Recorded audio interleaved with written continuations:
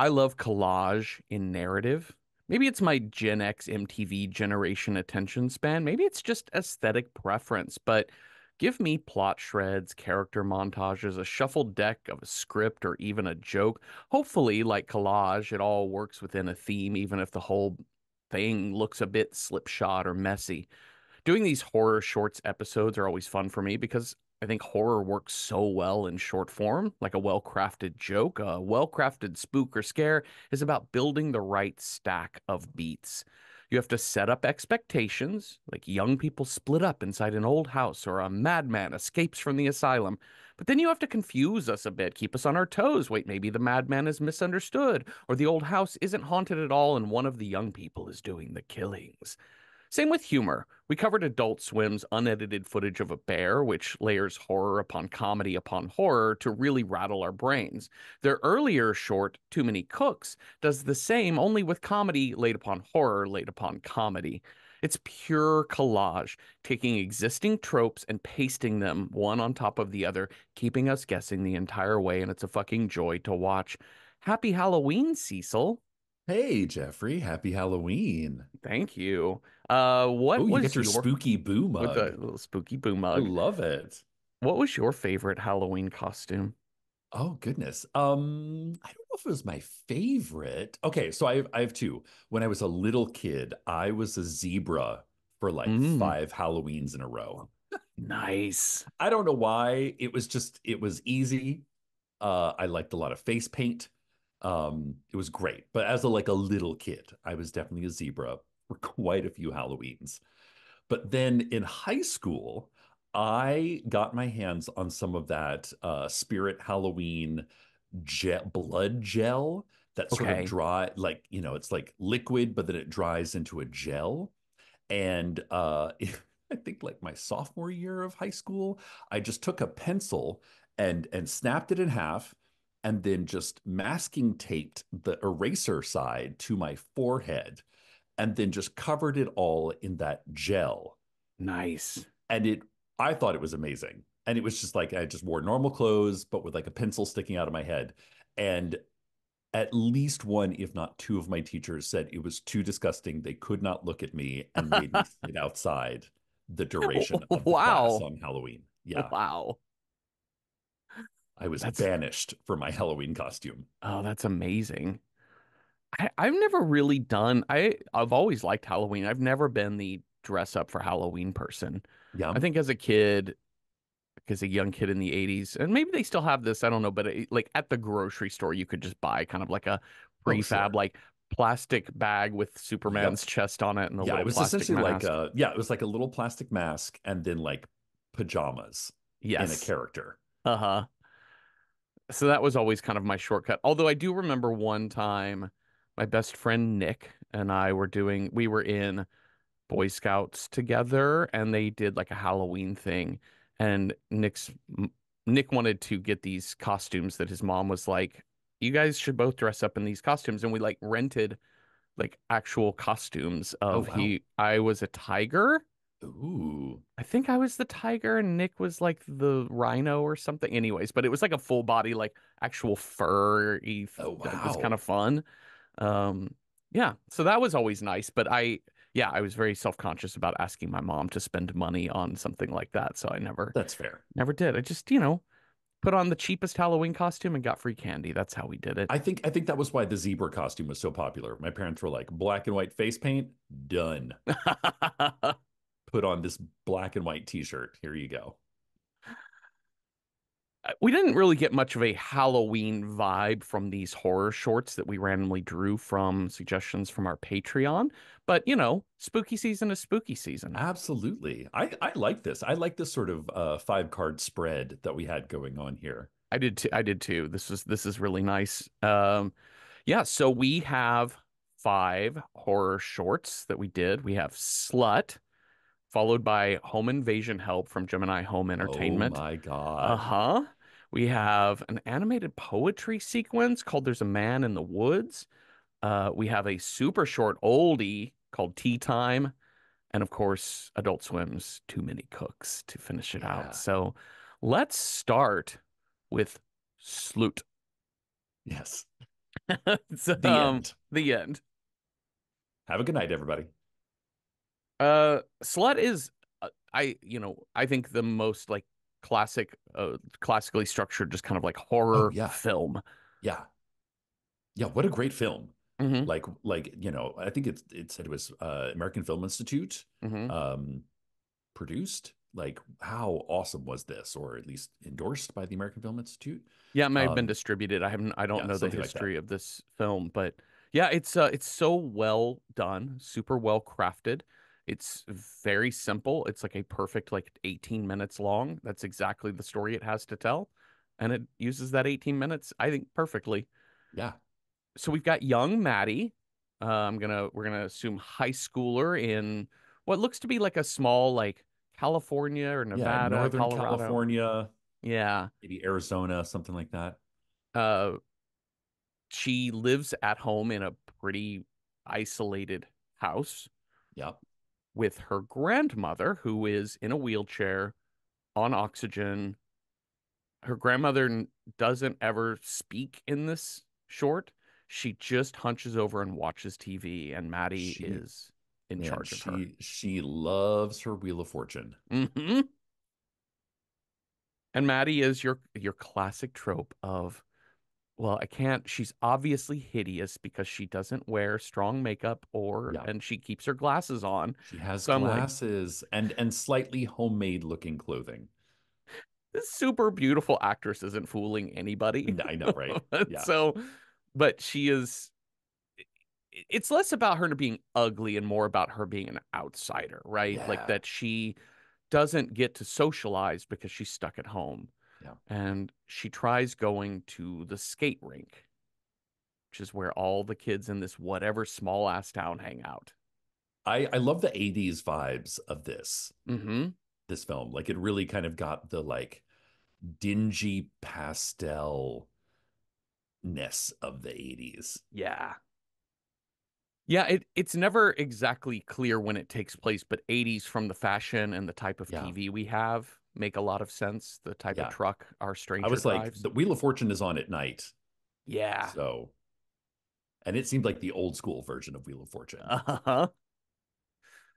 So she, uh, Maddie goes to the skate rink. Uh, she's trying to make eyes at boys, but they are too busy staring at Blondie, yeah. whose name I don't think we learn. I don't know.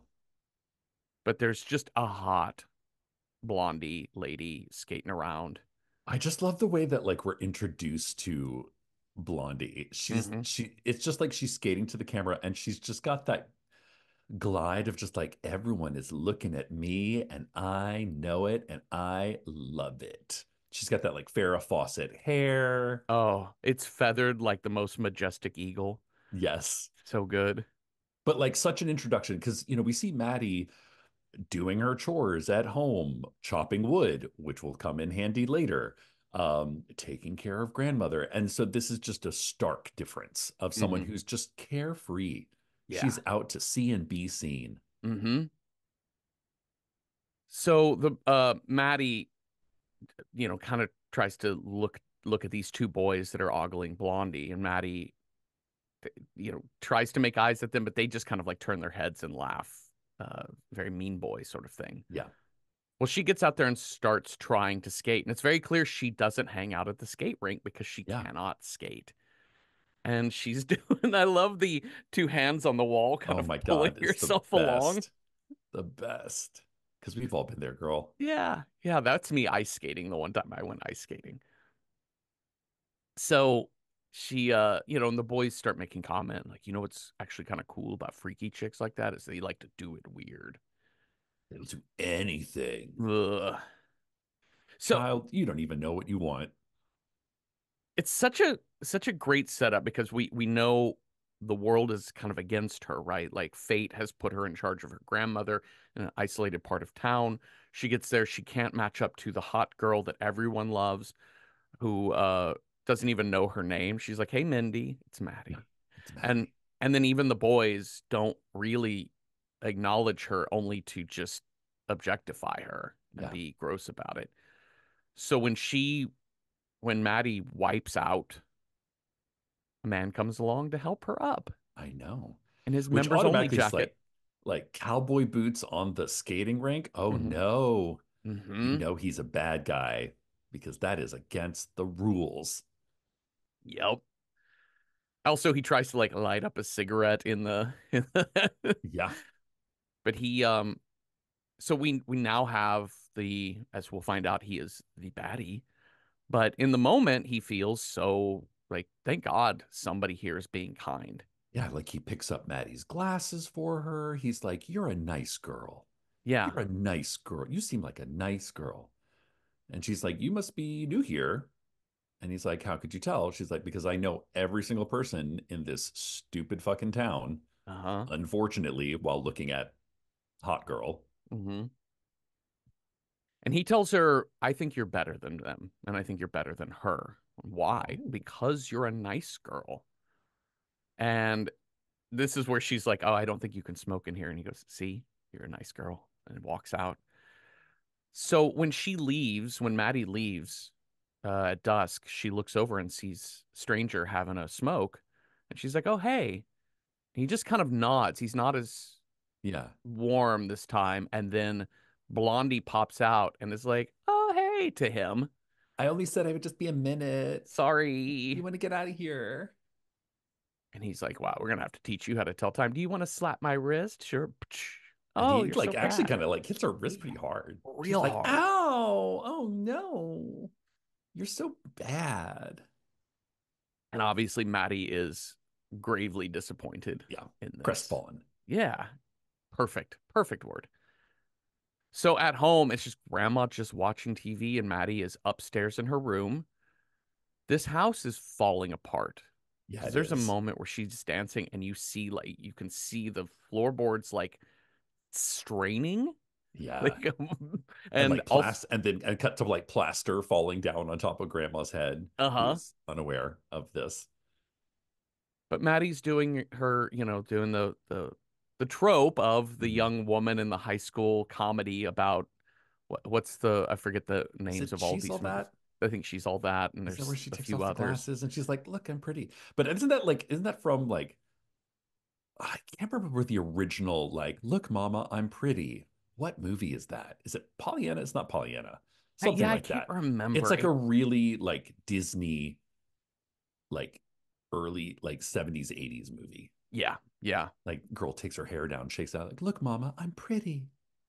I just um watching this when she takes off her glasses and then puts on her lipstick, and she has to lean really close to the Oh mirror to truly I see herself because her eyes are so bad. And you know, this nice music is playing, and it's kind of slowed down a little bit, and so it's you know, "Oh, she's beautiful now. I'm like, girl, you're not fooling anyone. Like you, you're same pretty. Uh, but she's the thing is, is that she's trying to communicate pretty better, Yeah. right? Like that's what she's trying to do, and she's kind of dancing to herself, dancing with herself upstairs. And then we cut to the middle of fucking nowhere at night, a desert scene just lit by headlights from an old pickup truck. And Blondie is laying in the dirt. Yeah. Just kind of um flailing in the dirt. Uh-huh. I, I like the fact that we don't see the initial act of violence, yeah. like the lead up to it. It's like we're we're sort of like, oh, we have to put the pieces together in this moment. I mean, we all know the second we see this image, which is why I think it's such a strong um uh f- piece of filmmaking.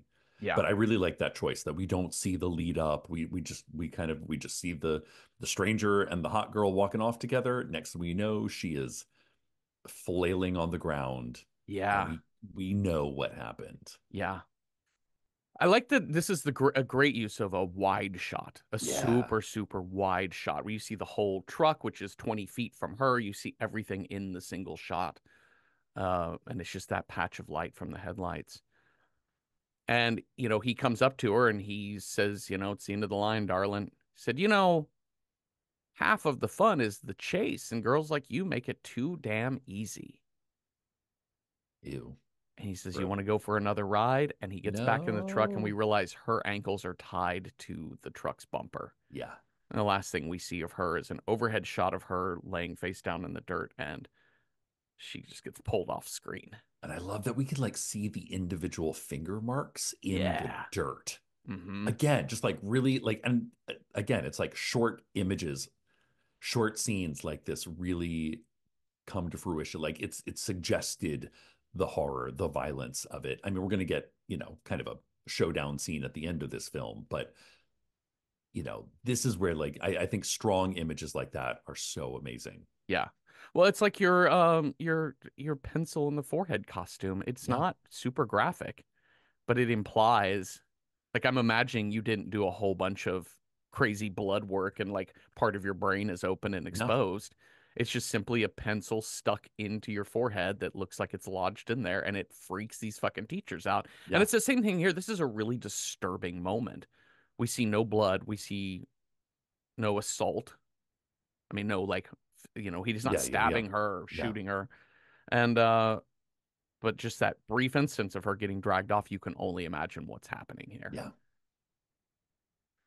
Okay. So now we've got Maddie making, she's going to make some jorts. She's oh going my do god, this scene is so great. She's like laying out the jeans on her bed. Mhm. She's got the scissors and she's gonna cut. She's like, no, wait. And she just moves those scissors up about 5 Uh-huh. inches. Yep. Like, I'm gonna be a hot girl. Yeah. My jean shorts, my Uh-huh. booty shorts. And so she does. She makes her very short cutoff jorts and she puts on it's almost the same sort of outfit other than the top now, the bl- the kind of it's kind of that 80s puffy blouse, but this one's slightly lower cut and it's Yeah. pink instead of white. What I think it's interesting is that it's the same material that the grandmother's, it's that pink gingham that the grandmother's uh-huh. night dress is made out of, which Oh. one says a lot about she's she's stretching a dollar. You know, Mhm. they probably have this, you know, you all know the pink gingham that you can get by the bolt. It's like the cheapest fabric. But she's like, okay, I'm going to make her like I'm going to make my version of a hot girl dress. And it and it's it's very country western. Mhm. It's very frilly. It's very, you know, kind of Barbara Mandrell. Yeah, it is it is the it's it's a very mild Daisy Duke. Yes, yes. It's a Daisy Duchess. she pops into the skating rink and people are all staring at her now. Yeah. And she becomes overwhelmed by this and just darts back out and ends up just kind of taking some breath standing Yeah. on the outside of the building. And one of the bros from earlier sees her and he walks out to go talk to her. He like stands like 10 feet away, hmm looks at her and goes, Hey. She says, Hey. Fuck off. I love it.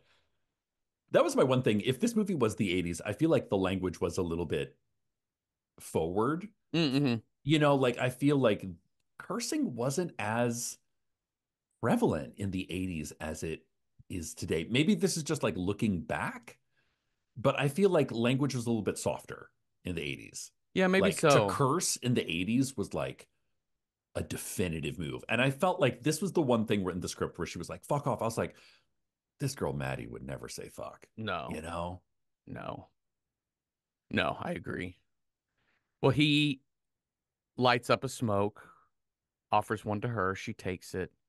They're standing still kind of far away. And eventually he drops his cigarette, walks over to her, and leans in for the kiss. It's like a beautiful use of split screen here. Yes. because it's like we get the left the left side of the screen is uh we just see like the the mid shot of the guy but it's like his crotch. Like we see essentially him holding his cigarette at crotch level like this like this phallic symbol Uh-huh. literally. And then the right hand side of the screen is Maddie's face. And then we sort of see the kiss happen from uh, you know like the left hand side the left hand side is the couple but the right hand side is still on Maddie's face Yes. so it has a like it's great because it, it sees the experience from afar but also the experience from like not from her point of view, but we get to see her experience the moment. Yes. So it's a little bit pointed, but also objective. Yeah. And he, of course, takes off her glasses to lean Mhm. in for the kiss, drops them to the ground. And then as he steps in to make out more, he accidentally steps on her glasses. He says, "Oh, I'm sorry," and she says, "I'm not." And she And then puts they her his hand on her boob, Uh huh. and this like six foot three dude is trying to kiss all up on her, and she looks so happy. I love this scene because there is a it's a moment of connection for her. Yeah, We already set up this guy is kind of douchey broy, but he, he's not a bad guy, this No. kid. He just is he's a a, townie. He's, He's a a townie. townie. Uh, But I think it so perfectly captures that like her face so captures that need as like a 16 year old or whatever to want to connect to somebody Yeah. intimately and then the excitement you feel even though everything about it as an adult you know this kid's a bad idea Yeah. but I it's mean, a it's good even a idea at the yeah, yeah. time yeah But you know, th- this is listen, small towns. yeah, You get what you get. you do and he's not bad looking and he seems pretty gentle with her here and I, but it, the six foot three frame to her like five foot four is great Yeah. but But from the truck we can from the we see the stranger watching this whole thing happen and Mm-mm. then yeah, and then later he goes to pick up her glasses yeah after the two of them have gone off to do the sex. hmm to do it They're gonna go do it. They're gonna do it for their country. What what's our 80s t- pork? He's he's going to Pork. pork. Yeah. Yeah, that, that was very like 80s term. They're gonna go pork. Porking. Good lord. Okay, so Maddie gets home, sans glasses, and her Mhm. grandmother's still sitting there, the watching TV.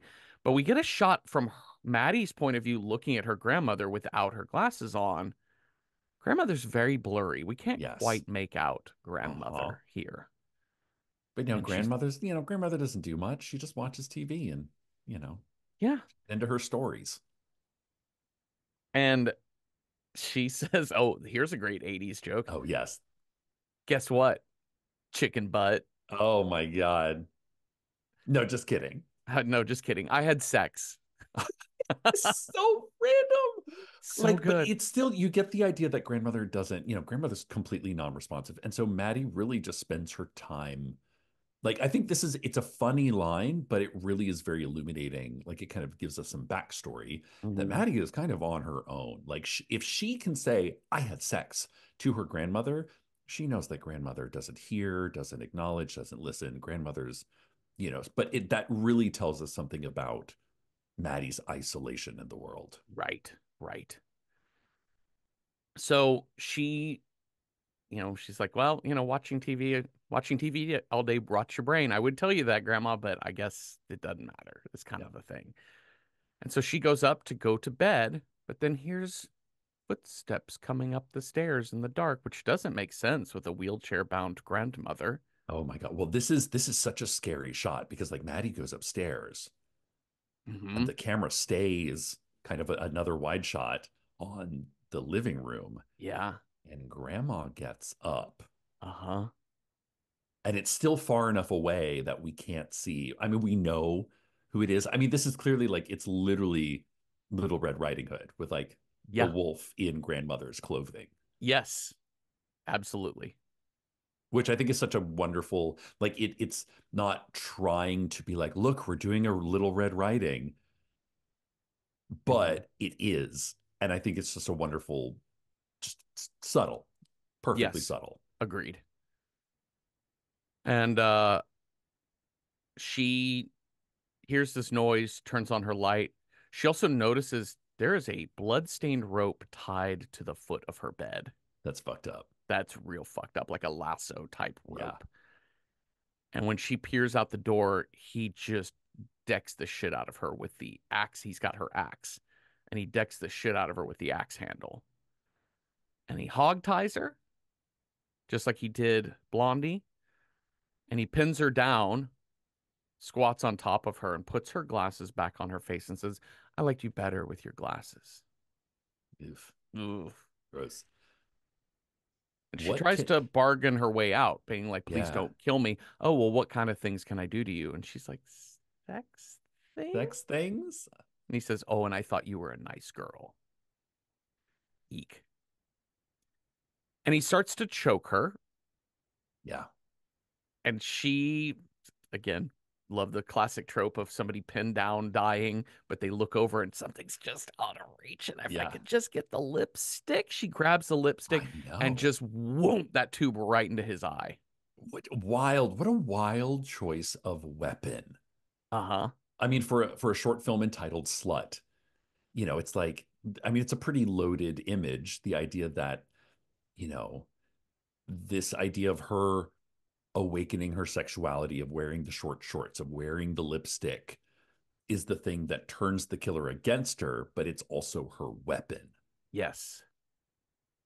And also the way it leaves a mark around his eye, too. It gives him It's- pink eye. Yeah, it gives him a pink eye. And um, you know, he's he's like, girl, you got some fight in you.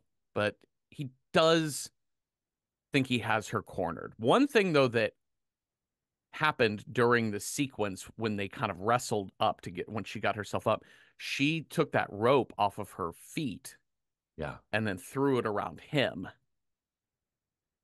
And so he's got this rope hanging around his neck, but he's like, Uh-oh. I got you cornered. And as he steps forward, his foot goes through the floorboard and he gets trapped. The axe is sitting right there on the table. She grabs it, and we saw her expertise with that axe earlier.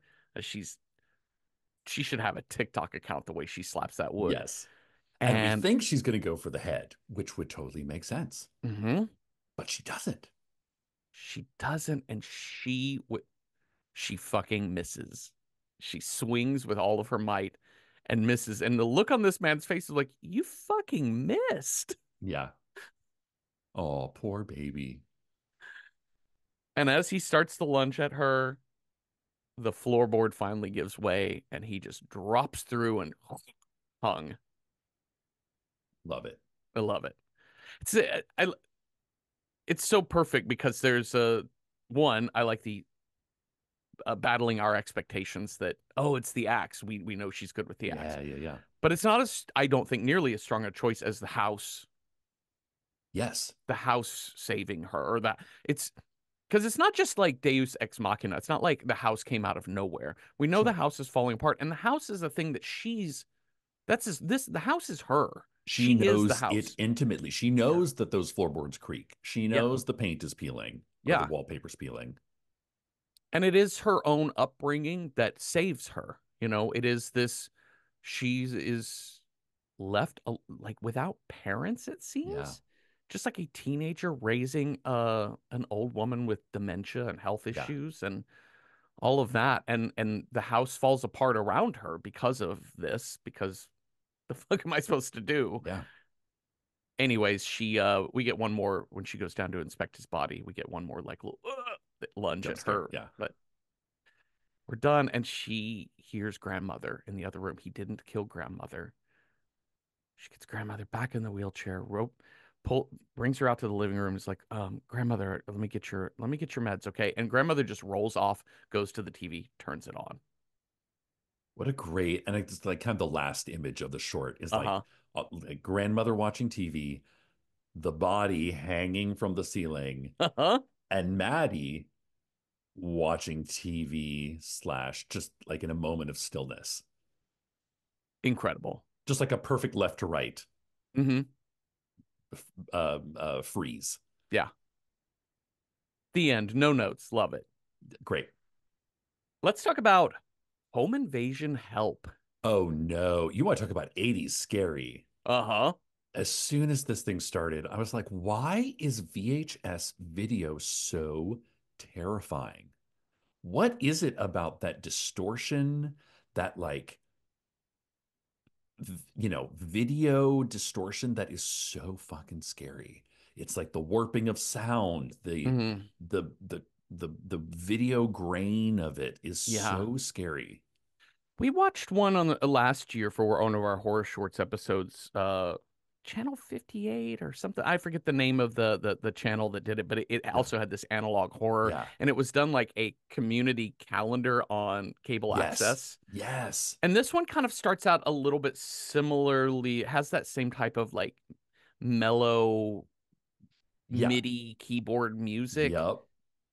Well, this It's- this feels very like is like uh, in the wires territory. Yeah, it really yeah, it, it really it really is and it's um I think what's scary and unnerving about that aesthetic on vid- video is that it's I think it's the same way in which like people putting on unnatural voices is scary. Um mhm. way the way robot voices can be scary because Yeah. it feels like something not human talking to us. Yes. And something not human pretending to be human is very scary. And this feels inhuman from the get-go. From the get-go. It's also it's that like corporate nice. And you know, it's like home invasion. Help and It- safety. it's a yes, help and safety. Like it's anybody who's ever had to watch a training video, especially of the sort of 80s variety, there's like a very sanitized for your protection. You know that this was made by people somewhere in Mhm. some studio, but it feels other. It it really does because uh, even for VHS era looks, it's it's a very phony kind of image, right? It, it feels like.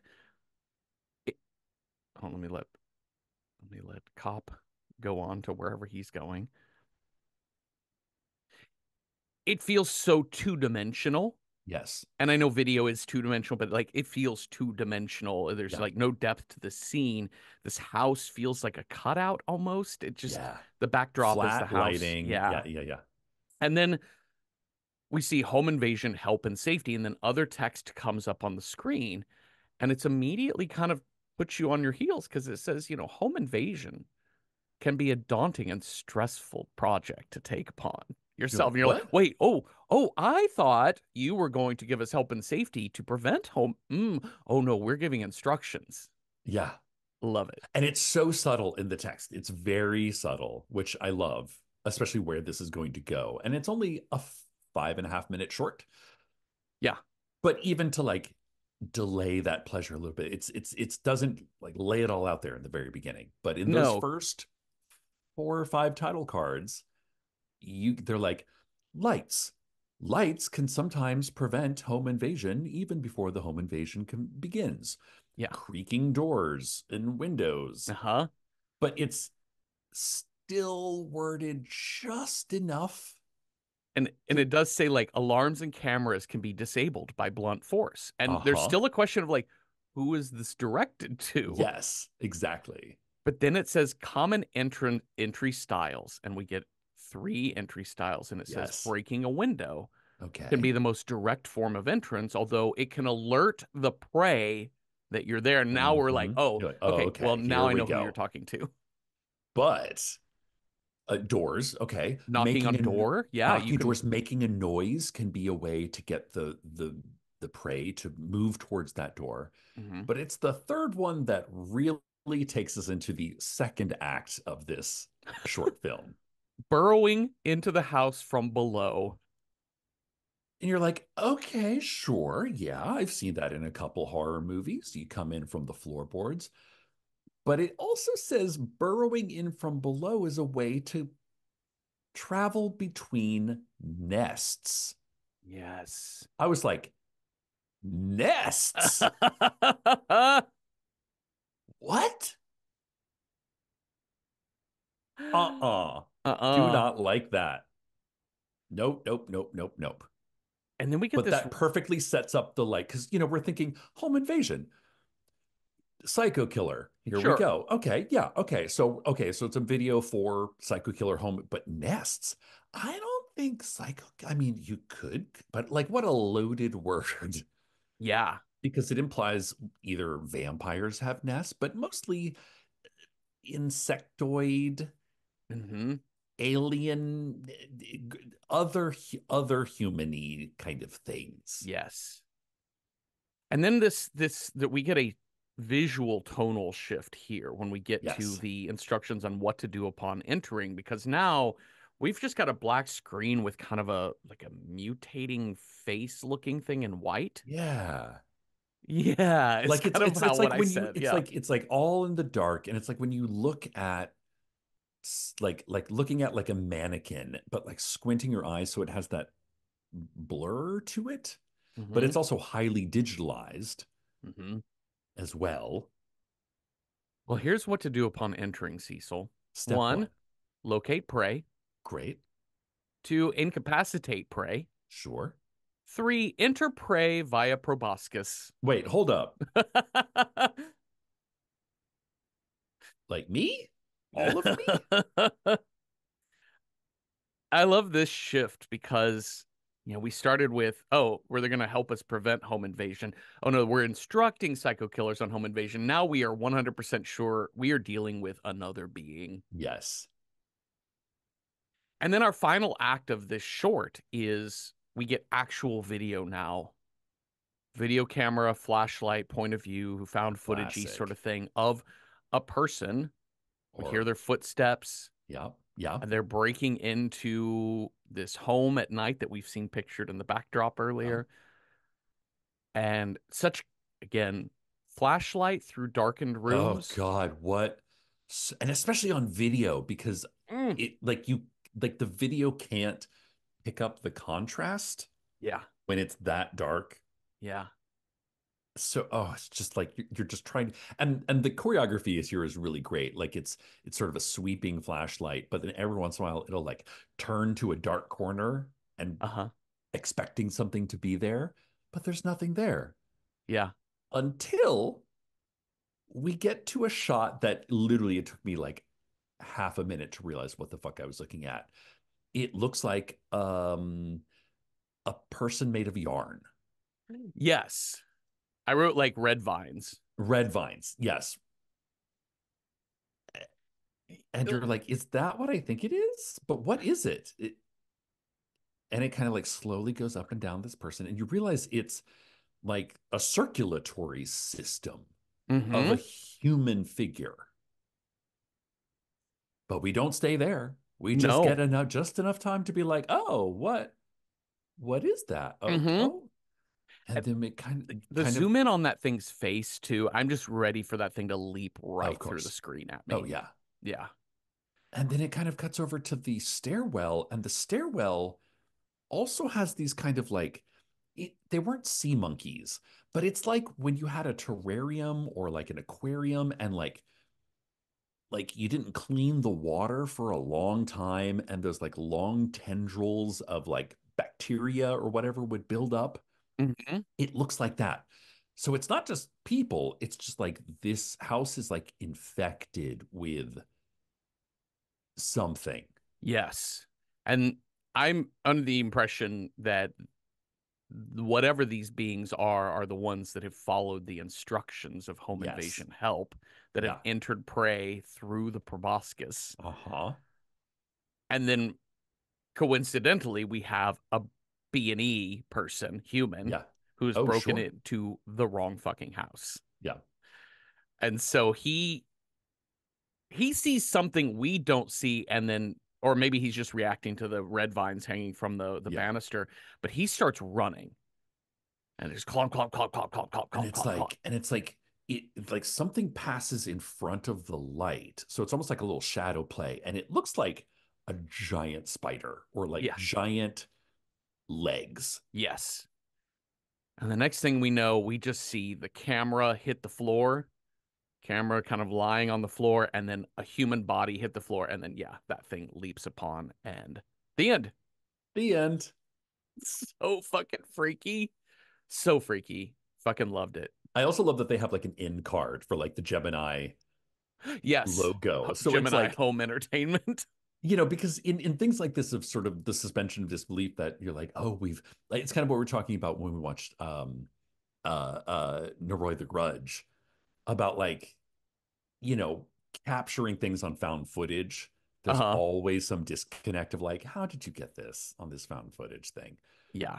and this takes that and then and doubles with it and it's like no no no we intended all this here's the here's the title here's the end card Yes. this is supposed to be here Yeah. Uh, so good, so excellent. Let's talk about There's a Man in the Woods. Ooh, what a great tonal shift. I love animation. hmm The animation's great. I love the choice to have it be in poetry. We got some some verse going on here. Yeah, and it's also like, and it's not like Seussian poetry, No, right? but It's it's not it's children's book. It rhyming. It is rhyming. It's but it's a complicated internal rhyme meets freeform. It feels more like poetry slam A bit, kind of kind of vibe. Like it's a free flowing Yeah. story. It is also in the way that like performance poetry can be similar to music uh like especially in hip hop and country music and folk music typically use the I'm going to do a first person story about Yes. me as a Yeah. character Yes. And so using that first person kind of uh storytelling I really love that I love performance poetry I love this Yeah. type of like character work that happens in poetry and that's what this poem this story is doing is animating a sequence about there's a man in the woods, the first line of this poem. And we meet our teacher, our unnamed Mhm. teacher, our narrator, leaving his small apartment to get into his small car. He's a he teaches young kids, we're gonna guess like first or second graders, maybe. And he says he's in his prime. I'm He loves prime. being a teacher. hmm And everything about it is good. He's so good with the kids, and this is only him telling us how good he is with the kids. But then one day it started with Sid, that nasty little boy, started a rumor about there's a man in the woods. There's no man in the woods, but the Sid starts telling kids, and the kids all get scared, and now they start seeing him everywhere, and they've built a legend of a man with the in the woods who's got a shotgun or an axe, or he's got pointy ears and red eyes and a mask. And I love it like the kids are seeing and like what a great it, it this this one happens really this is only three and a half minutes, which Mhm. it's anim, animated. So like three and a half minutes animated is a, a work. That is Yes. a lot of work goes into this. But it's it's very quick. Mhm. Which if I have to say there's one critique I had of this, it's naturally as as a voice actor, it's for the performance of the I like I wish it had slowed down a little bit Yes. because the verse is hard like it it kind of it sped up at places where I was like, oh no, I'm, I'm I feel like I'm missing things. And I know from performing Shakespeare, there's like your ear needs a little bit of time to adjust to hearing verse as Mhm. opposed to prose. And I think it there were some things that were rushed through. That's my only critique of this one. It, this is uh, it's it's a really odd thing. I watched this a couple of times now, and from you know my limited experience, but my love of performance poetry is that they're performing for poetry, right? It's sort of like it, it, it's basically a musical essentially, Yeah. where the the Oh, voice sure. acting in it isn't acting a character; it is it is It's not singing it's the not character. theatrical, it's more um yeah, like you said, it's it's more about the poetry of it. It's musical without orchestration and Yeah. beat, you know, but but it is sort of music. So it's it's keeping to the verse Yeah. rather than the character. But you're right, like it does he's creating with the voice work, he's just creating a steadier and steadier tension. I mean, the theme of this is pent up rage. Yeah. It is entitlement. It is uh it is the way in which violence happens within us, especially young men who believe a lot in themselves Yeah. and believe they are owed something. Well, he because the kids all are scared of the man in the woods, all the parents start freaking out about the man in the woods and what is being done about the killer in the woods. Why are you not protecting him? And he's being called in by his principal and the parents, and they all believe that he's not doing enough and he gets fired. Yeah. And you know, and he takes this not as he takes this as a victim who will fight back. Yeah. Your precious little angels could never lie, right? But uh he's coping with uh definitely booze and Yeah. drugs. Yeah. I like that he talks about I think it's he's talking about all the lines that these kids tell, the lies these kids tell. He's like lie after lie and line after line. And when he says line after line, it's a shot of him doing cocaine Yeah, from the doing a of line view. of cocaine. Yeah. And uh and he says, "Well, I can play along too. There's a man in the woods." And we there's he is ready to fucking go. And I'm guessing the implication here is that he's going to take some violent revenge. Yeah. Um it's intense, man. Yeah. It's fucking fucking intense. But I do I do appreciate as a form of horror of not you know we just talk about the building of a hero or I'm sorry, Yeah. building of of a villain, of a supervillain rather than having a thing about a, a I feel like an animated story about a former teacher killing kids or parents would have been really fucking hard to watch. Like not in a scary way, but in an upsetting way. Yeah. Yeah. Yeah. Well, that is the end of The Man in the Woods. Uh, there's a Man in the Woods, and I, I highly encourage it just for the performance poetry aspect of this is really uh, what a pleasant surprise. I was not expecting that. See, so let's talk about Tea Time. Oh, yes, let's. I think this is from like 06 when this was po- like posted to so. Oh YouTube. 07? Yeah. 07. It very early YouTube then because I think YouTube started in 04, 05. Oh, wow. Anyways, very early YouTube posting, another three minute clip. Super short. Super shorty. Got an old woman.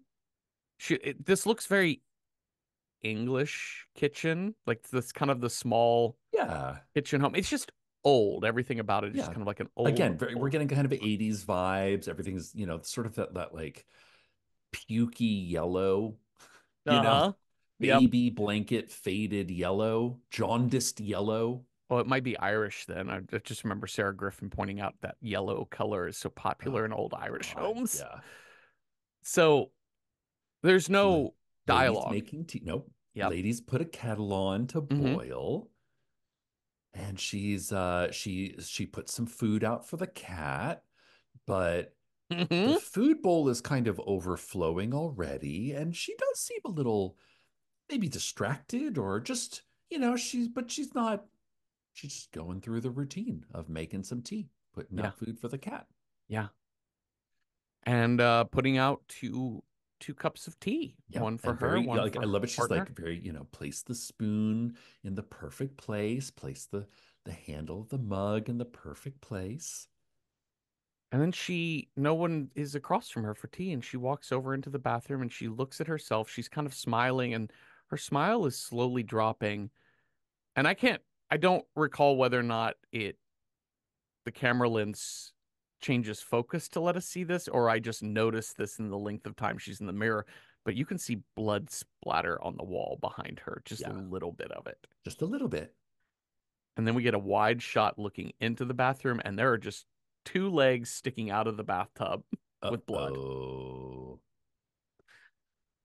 And then she looks into the bathtub, and there is a man in there with a knife fully into his shoulder blade, like like yeah, like right or not the base shoulder blade, the neck. collarbone. Yeah. Yeah. And it's and it's this is like, you know, at going from the first minute and a half or whatever, two minutes, that is so kind of pastel. Her her dress is like light blue and flowers. This red looks so red. Yes. Yes. Great. Beautiful color story. Jump scare tea kettle goes off. Yep. And she pours tea for two and just kind of sighs and looks around. Really great device. Like taking, like I see where we're going with all this. This is all Yeah. very cool. Like, oh, the, here's the twist. Makes sense.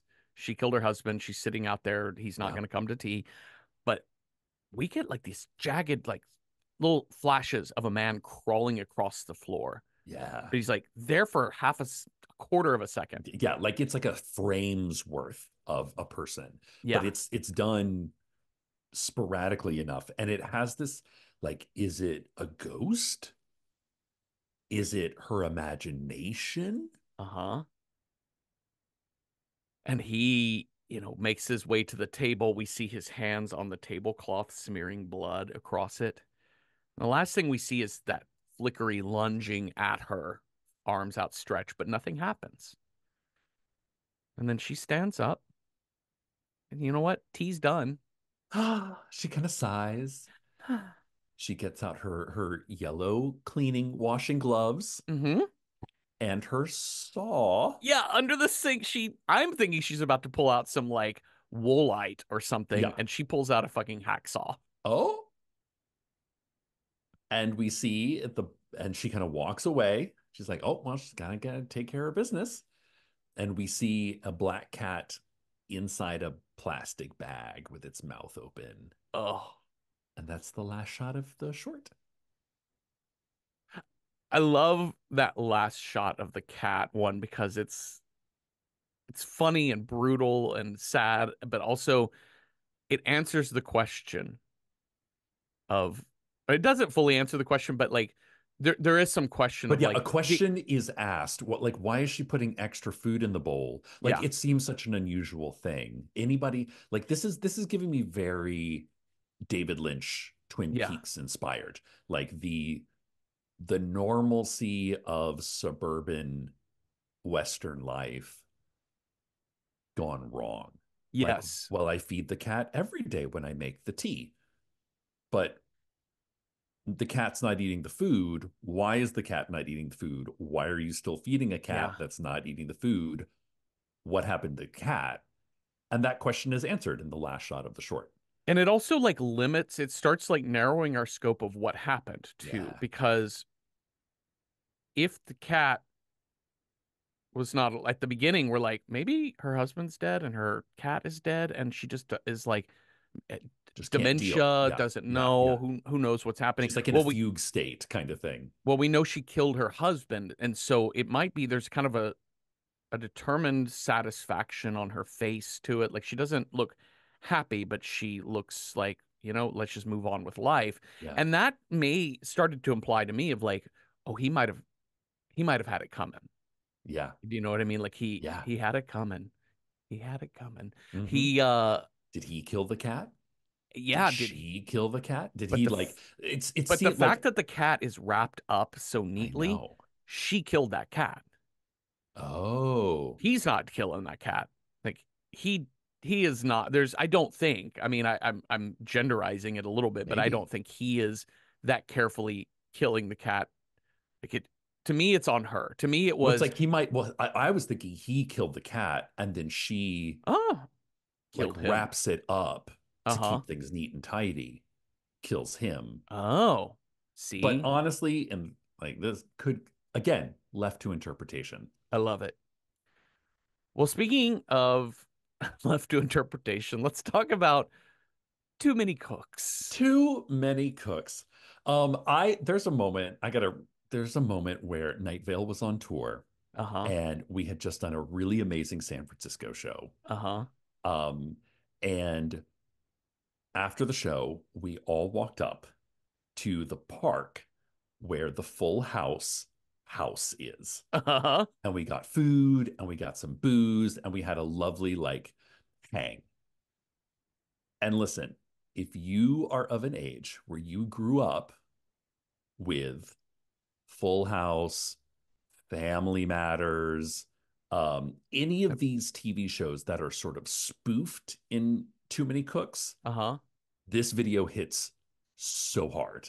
It absolutely does. Yeah, uh, Valerie. I remember watching that Oh with Jason God, Jason Bateman, right? and yeah, um, The thing, like when, hits it when so TV shows had like catchy theme songs, family Uh-huh. ties, yeah, you know, like that era of TV making is so specific and so ludicrous because it's kind of the last gasp before the 2000 the like sort of Y2K changeover into what we into the digital revolution. yeah, yeah, and the different way in which we consume television changed Yeah. kind of how we make what the means television and what television it means to yeah. us. Yeah, seeing the you know i think wandavision is a one of the things wandavision was so successful is because it takes a look at how the family tv sitcom portrays family to itself yes, like the family sits down at dinner and then they watch their favorite tv shows that shows them on TV. Yeah. Supposedly. Yeah, and the, and the, the ultimate like meta commentary of this whole piece and WandaVision too, but it, it is it is essentially it's it's taking all of the old 80s and 90s tropes, like it's taking these hold on. Um turn my phone off there. It's taking these 80s 90s tropes of how how we portray family in sitcom or just TV shows in general, how we Yeah. portray human life human relationships.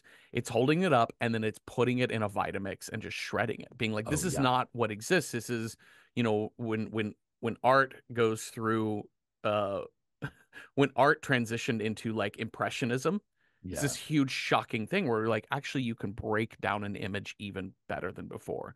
To expressionism, to Dadaism, to po- you know postmodernism. postmodern. This is like the most postmodern. It's so postmodern. Get. it is. It like is here, take 90s television theme song, Mm-hmm. disassemble it to its most basic elements, Uh huh. reassemble it, have fun. Yeah. So we've got, you know, a family. It's and it's the idea of an actor is seen on a screen, the actor's name in Uh-huh. yellow title card, and it sort Uh-huh. of pauses for a minute. And there's a mom and a dad and a kid and a, you know, a girl and a boy and and and then and it's the theme song too. Minnie Cook. This is super catchy. Even Jeffrey, you said you're like, what an earworm Yes. this song is. And the the basic setup of the Too Many Cooks sitcom Yes. that exists here is that we're going to have the Too Many Cooks. It takes a lot to make a stew when it comes to me and you. So we've got this like uh, family ties type of Yeah. jingle, and the the the basic idea is we're going to have an establishing shot of the house. We're going to start the jingle. We're going to have each character pause them in their kind of like full archetype moment Yes. of what they are. I'm Happy the athlete. dad. I'm the nerd. I'm Yeah, the frustrated grumpy mom. Yeah, Yeah. and and then at the end, we're all going to come together on the couch. Dad is going to set the camera on the oh timer, dive in, and then it's supposed to take the picture while he's like not quite fully set on the couch. Absolutely. Funny. That's the way you open the show. But It doesn't every time it gets to that beat, it has to keep going. it just re- goes back to the refrain. Uh huh. And then there's a different kind of happy happy family, white family, Same house. same house, but different dad, but like kind of, you know, not in the same clothes, but just of the same but different types of people. And then eventually, I think the, I mean, that's the first moment you know things are funny. Like, okay, repetition is funny. But then it gets to two beats, two, it adds two characters that are funny and upsetting because it gets to Smarf, Smarf. Oh my The- God.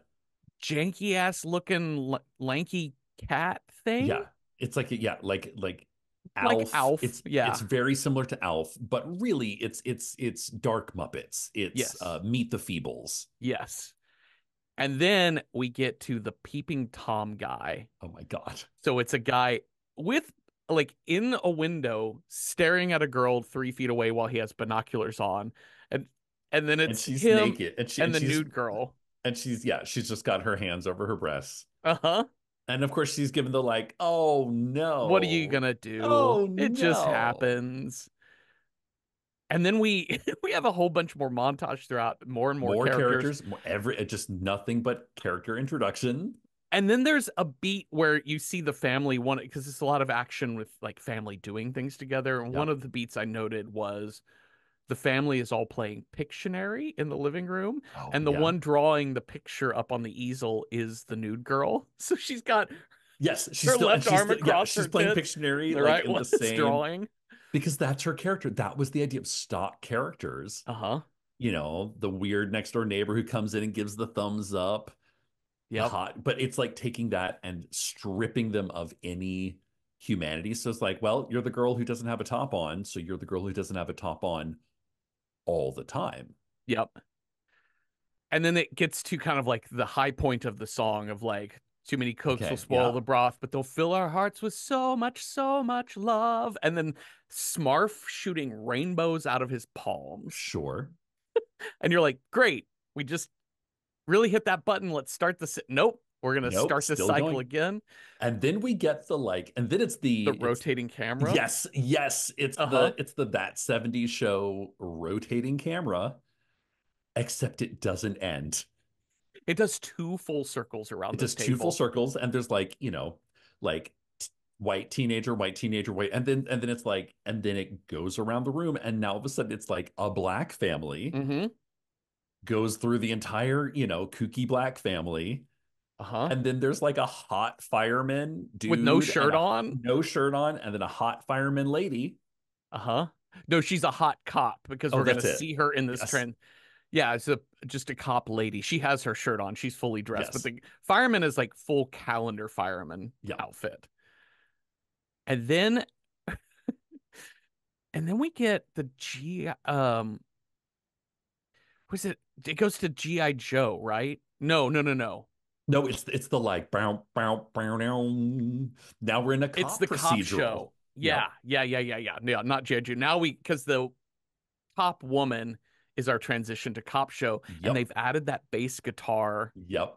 That Wah Dick, wah uh, pedal. Dick Wolf? Yeah. Yeah, and yeah, sort of um Law and Order, but even all going all the way back to like Chips, right? Yeah. Like 70s, 80s cop drama. Uh, There, I, I think there was also like Street well, Blues. there's cop drama. There's also an office drama. There's also an office comedy in there. there's a you know, Falcon Crest in there. Oh, oh well. By the time we get to the like Falcon Crest Dallas Yes. dynasty moment, Uh-huh.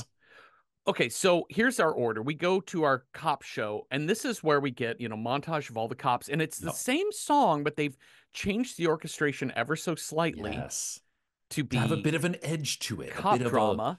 a Law and Order. Well, this is where we start getting more surreal because, like, at one point in time, there is a man hangs a coat on a little coat rack, and the camera zooms in and it pauses. There's a full face on this coat, and Yeah. it just says Matthew Co- Matthew Cody Foster as quote coat. Coat. And then there's this close up just on a pie sitting on this officer's desk, Lars von Trier as pie. Shut the front door. because Lars we know Lars von von Trier, Trier. loves. We know, but I mean, like Lars von Trier is like you know the like one of the poster boys of like deconstruction Yes. postmodernism.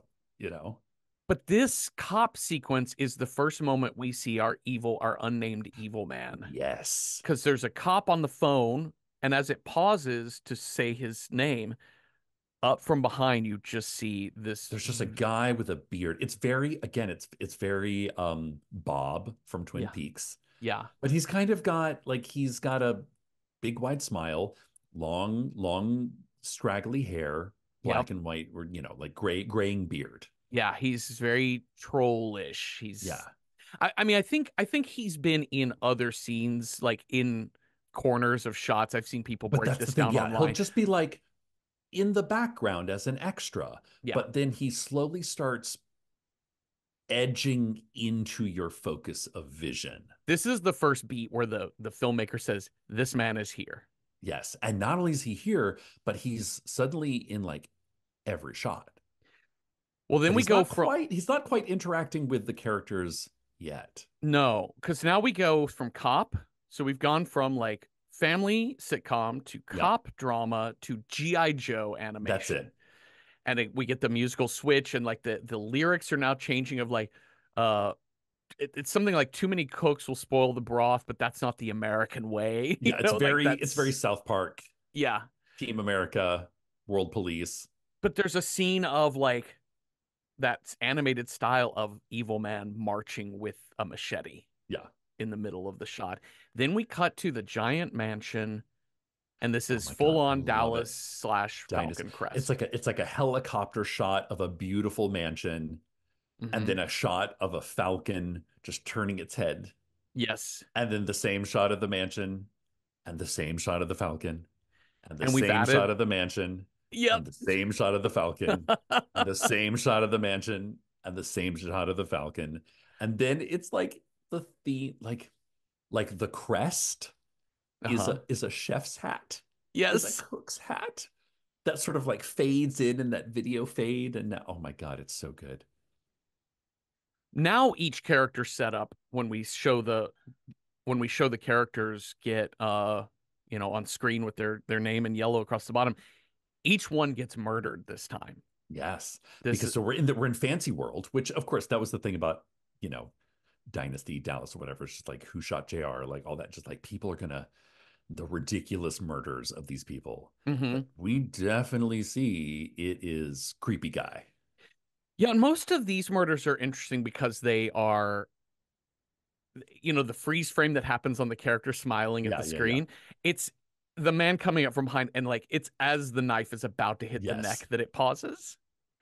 Then, then we get to our first like true horror trope thing, Yeah. where like now we go to girls doing a pillow fight in a dorm Sorority stuff. yeah. sorority house, which is full on. Now we are in a a slasher movie Yeah. as opposed to a TV show because there was no TV show about sorority girls having pillow fights. But um, I I get, I don't know. I guess we had different world. Like I don't remember pillow fights from different world, but I guess we have like college kid sitcoms, whatever. Anyways, these girls start getting picked off one by one in the credit sequence, and the big one is Katie Atkins Oh, Katie. and her face freezes for the character beat, but Evil Man is coming up from behind her, And sh and he's moving, but she's frozen.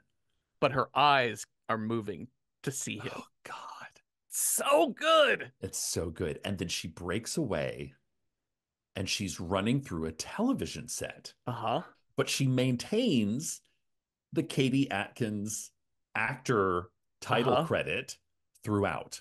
And she's running through this set and it's kind of empty, but there are still people backstage who Frozen. al- frozen who also have their title actor credits.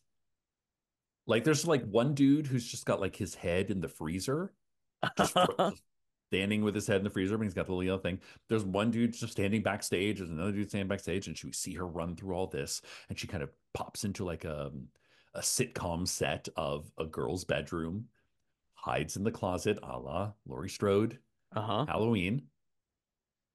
But her Creepy. glowing, the glowing light of her name is shining through the slats of the closet door. Gives her away. And then this is where when he opens the door, she he swings the thing, swings the machete down on her. We get a scream, and then blood splatter hits the bed, like hits the wall in bed. Now, what do we Um, do with that? Well, we got to send in Wonder Woman. I love. There was just an era for about 10, 10 years there, from like the mid aughts to the mid teens, where we could not get enough of repetition humor. Oh yeah, Like- Kristen Schaal is a horse, like I think is the most famous case of this, wherein just look up Kristen Schaal uh, is a horse online, and it is her old comedy bit of s- scream chanting Kristen Schaal is a horse, and then doing this ad nauseum Yeah. over and over. And then, but what happens is is that you you get really frustrated with it, but if you do it long enough, Yeah. you start really enjoying it. And this Wonder Woman doing this Lynda Carter spin. Yep. And but she's like, it's like trying to like ignite. It's like tr- like trying to light a pilot light or try to turn over a car, and it sh- the Wonder Woman just won't take. So she's like, keep spinning, and it kind of fades into Wonder Woman, but then fades back to the pretty lady in heels. Uh-huh. Fades into Wonder Woman.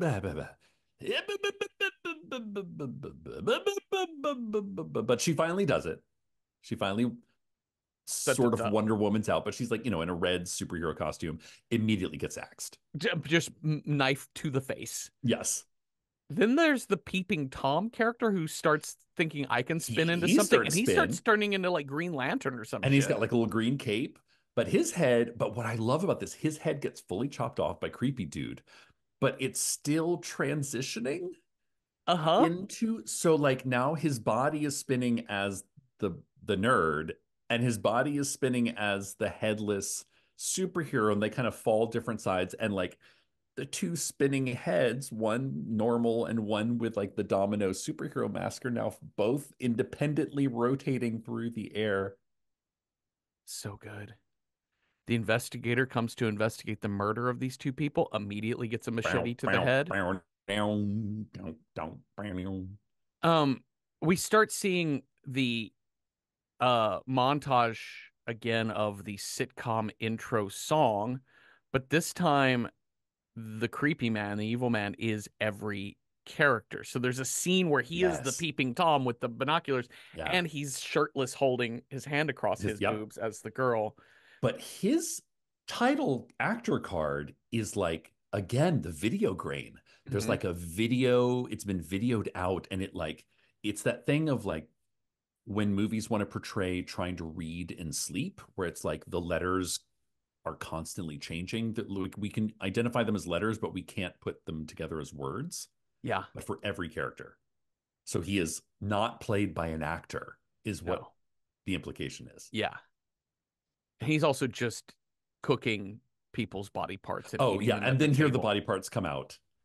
But then as he's sitting at the table eating grinning and eating a foot he just gets blowed up with lasers from yes. off camera and we cut over and we see Smarf who's got laser burning eyes yeah. but then Smarf like bursts into flame and what's left is yeah. like a terminator style robot in the shape of Smarf and now we're in fucking space Cooks, cybernetic, oh. operational, optimized knights of science, defending humanity from Broth, beast rebels of the hellscape. Oh my god. God damn it. Absolutely. And this is some of the, like the most janky Star Trek the costumes original this... Doctor Who, not this newfangled super oh, cute yes. Doctor Who, like old, like we're gonna, you know, like what they used to say about like sort of like we're gonna like staple a paper plate onto somebody's head and be like, oh, your paper plate alien species. It's like 11 p.m. PBS Doctor Who. Yes. Yes. Yes. These costumes here are so fucking brilliant. Fucking good. The makeup and everything is so awesome. And it's the the, the voiceovers like when it when it comes to the future, you can never have too many cooks. But he's like this evil man is also like he's like a, a, a drone type character. There's multi of him yes. marching with the machete. He's the face of a spaceship shooting lasers, lasers out his, his mouth. mouth. Sure. Okay. Now we cut back to sci-fi. On, yeah. Oh yeah. Oh, on the screen of the spaceship is the is house, the sitcom. the sitcom house, and so then we just go into that, and inside the house is actually not the living room. It's a it's a, like an OR or an ICU. Yeah. And Actually, it's, it's, an ICU, and it's a, two doctors standing over this man who is just mutter, muttering beats from a sitcom screenplay. Pause yeah. for audience laughter. He trips over his own thing. She says this, and then the audience laughs, and then and he's got and he's got his yellow actor title card, mm-hmm. and we have a very naturalistic acting between these two doctors. Very anti every, you know, like extremely realistic. Well, extremely, but yeah, you know, but much more realism played as na- normal people who were like yes. not supposed to be in this world. And the male doctor says, this is the worst case of intronitis I have ever seen. It took me a second to process intronitis, but it's intro nitis. Yeah. yeah. And she's he's like you can even hear the theme music coming from him and she says and we have no idea how contagious this strain is. And then her face falls. Uh-huh. And she looks at the doctor and sliding up his side is a care is is a two is a two name name. Uh-huh. And you see his he goes full into like this is uh this is like zombie type movie, right? When a yes. person realizes they're infected yeah. and yeah. he's like kill kill me. Kill me. Kill me. And he's smiling because you have yeah, to smile like the, in the It's like the Joker smile. Move. Like it's like it's like the joyless smile, the uh-huh. sitcom uh-huh. smile or the Disney smile, as my friend said. Yeah. The thing I love so much, I'm just gonna throw this in about Too Many Cooks that I, I always admired about it, and any kind of postmoderny bullshit that does this type of montage, this type of horror montages, that it really just gets to the heart of it. It really does play with when we watch television. Mm-hmm. This it's hard to become aware of the soullessness of it. Right. It's hard to become aware of like the deepest, darkest parts of our own humanity not Mhm. just of the world, but of ourselves Yeah. because it doesn't allow you well produced television, which is what the 80s and 90s were. Even the worst TV show was polished to perfection. Oh, sure. And so when you take this, when you polish something up to where there's nothing left to really break down, we could not do it'd be so hard to do an analysis of uh, family ties or whatever. Yeah. Um because it is it has been so spit polished. And here's a a short horror satire showing us the you need to like it's the call of the void. You need to see the evil within.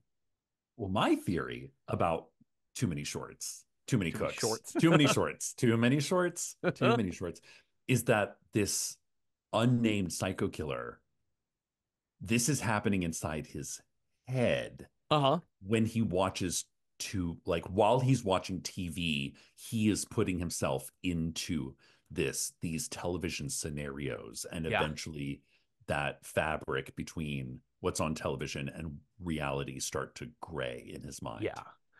It's very uh un, un uh unedited footage of a bear follows Yeah. a kind of similar t- um uh intensity uh Yes. because it it it- starts simple and it trumpets out to where the insanity layers on itself and by the end it is such a loud jumble of things happening that it's um it's hard to fully grasp but it's full crescendo Yeah.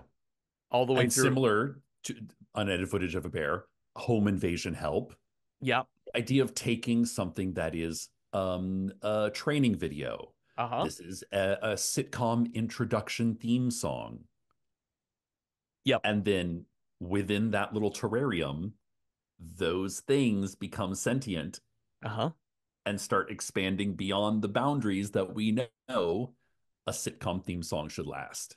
It's my favorite thing as a writer to do, especially for joke telling, but this works great in horror too, which is why I think gravitated towards wanting to make Night Vale because Yeah. it does have that humor and horror horror, but it's take a trope, move it forward, turn it left, move it Yeah, forward, yeah. turn it left, move it forward, turn just keep turning and see what happens uh with your logic. And it's that's what's happening here. And eventually we get to the point where we are running through the theme song again, running through all of these like setups of dynasty and cop drama and family sitcom, but all of the characters are fully jumbled now. So we have like the space dinosaur from Yes. K O uh, C O O K S who who's in like the girls' dorm with the pillow Yep. fight. Yep. There's a grandmother firing a laser gun inside the Yep. kitchen, and then ultimately it gets to the characters are now just made out of the font. Yes. Oh my God. That's the weird, like, where they're like, okay, so now it's font people and then human, like, video of human actors lying sideways Uh-huh. where the font, sh- where the character name or the actor name should be, and that Yeah. are just screaming at the camera, Yeah. as in, like, what absurd hell am I in? You know, the thing about like formulaic filmmaking or formulaic TV show making is, is that it is formulaic. It's a spreadsheet. It is a database of tropes, of Yeah. stereotypes, of archetypes that you just put into the blender. You, you don't even put it to the blender. You just draw a few out and you're like, here's our TV sitcom. Yeah, We're making we have our very now. special. We have our Yeah. very special episode. Mhm. We have the you know run through. You you all know the TV tropes. And when you have that type of database mentality of how to make a thing, Yeah.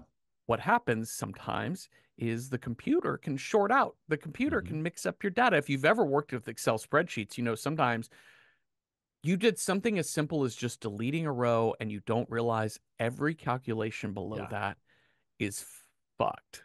Yeah, And that's And what what- is happening here. what beautiful patterns it can make True. when it's not doing what it's supposed to do. and that's what's happened here is the formulaic the uh the formulaic structure of the sitcom has broken down Di- Dino, uh, dinosaur space alien somehow wound up in the same line on excel as college sorority girl pillow Yeah. fight but then we see smarf Oh, Smarf. and we don't know exactly what happened probably got attacked by evil man but But smarf kind is of, it's, similar to the scene in Slut Uh-huh. where we see Smarf bloodied crawling across the floor Uh-huh. while the haunting refrain, it's now kind of in the background and faded, but very dark minor, Minor chords. key of just like and it's that echo like somebody singing in quietly but in a church or something. He's like, too many cooks, too many cooks. And then he sees Smarf sees the red button at the floorboard of the kitchen. And just like a panic button. yeah, a panic. Do not press the panic button, but he reaches over and he presses it and dies. And we see the overhead shot of just dead Smarf in a pool of his own blood on a linoleum floor, white out. Then the Brady Bunch style grid Yes. that keeps ever expanding, ever Yes. expanding of every single fucking character. And then we finally wrap it up with a living room. Here it is in the background of my screen on YouTube here, but the we get the living room filled with not all of those characters, but a fucking lot of them. yeah. And dad finally gets the picture set, gets to his seat, flash camera picture taken. But when the flash effect disappears, Cecil, it is our creepy man instead of father. Oh. And then the maybe the funniest button I've seen on a short film, which is the show finally starts. Yes. 11 Oh minutes God. after an Yeah, yeah, intro. Yeah, yeah. But it's like, you know, sitcom laughter. Somebody walks in and says, I've got cut Yeah, honey, I'm home to be continued. To be continued. And then it's like the super fast rolling of credits. You know what Yeah. they would do when like, you know, when shit was syndicated and they had to Yes. get through all the names legally, but there's no human way that anyone could read those names. Right. Unbelievable. I I just have such a soft spot for this and unedited footage of a bear, the stuff that Adult Swim was doing. Um it, it still is doing, but I love this type of montage filmmaking. I love postmodernism. It's so fucking fun. What a what a blast. What a blast. We did it. Hopefully, so maybe some of these uh horror shorts will inspire you for your Halloween costumes. Oh, yes. I want to go as Smarf with blood spurting out the side of his neck. Bloody Smarf. Yeah. Bloody. Sm- God damn it! I have to add that to the band names list. uh, well, we don't, we're not rolling for another movie because this No. is just a bonus Halloween episode. So listen, thank you all for listening. Thank you, Cecil, for talking with me. We'll be back on Tuesday with another regular episode. I cannot tell you that film yet because we're recording this a little ahead of time. But have a restful Halloween with no one spoiling your broth. Nothing. Boo.